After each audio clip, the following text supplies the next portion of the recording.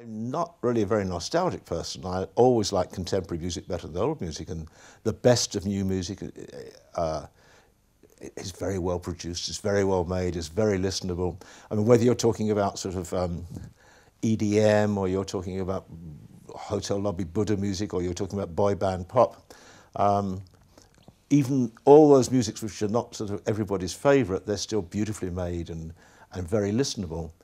And uh, I think there'll be new, just as rock came along. And when I said I don't think there'll be another huge decade of music, I think there'll be a, a, a change in style and something else will come along rather new and different, a different way of presenting or playing music. Uh, and I think it will be as exciting as ever. And, and better simply because technology makes the sounds big, bigger and richer and thicker and better.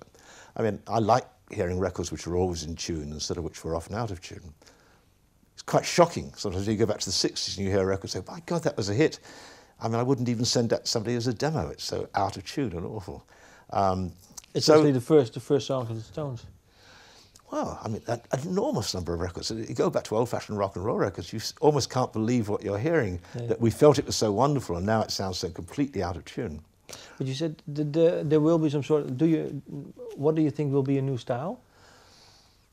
It's very difficult to say because styles don't really come out of the blue. Uh, first of all, one of the things that really came to me writing, writing this book was uh, it's never been about selling music. It's about, it's about musicians finding music they could sell. In other words, it's always the music compromising to fit the techniques, the new techniques of the industry as it moved along.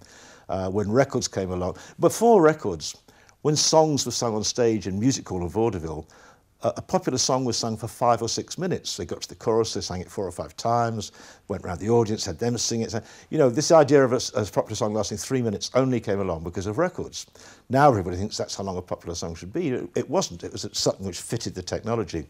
And everything all along the line for the whole 70, 80 years was music adapting itself to what was the saleable way of making it.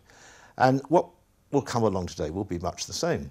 And it will be to fill a lack, you know, concerts become boring or dull or uninteresting or, or audience needs to feel more participation or perhaps quite the reverse. They're fed up with participation. They want to have something which is absolutely no part of them thrown at them so they can be amazed. So that would be all part of what would come along and what the musical style would be. I have no idea.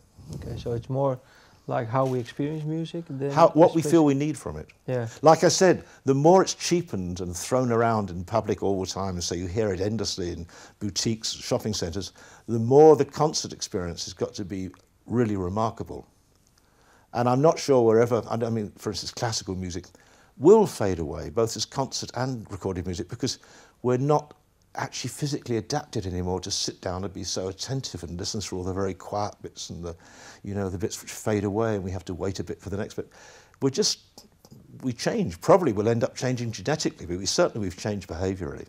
So I think the music will be more impactful. I mean, it will be more like a show, more like what the, the top disco uh, DJ people do now. Well, you go to a Tiesto concert, you get a sort of extraordinary event, which is like Hollywood music blasting at you. And I, I think concerts will be absolutely fantastic events. But I really don't know what the music will be. And it may well be that there have to be visuals with it too, that that will never be separated again.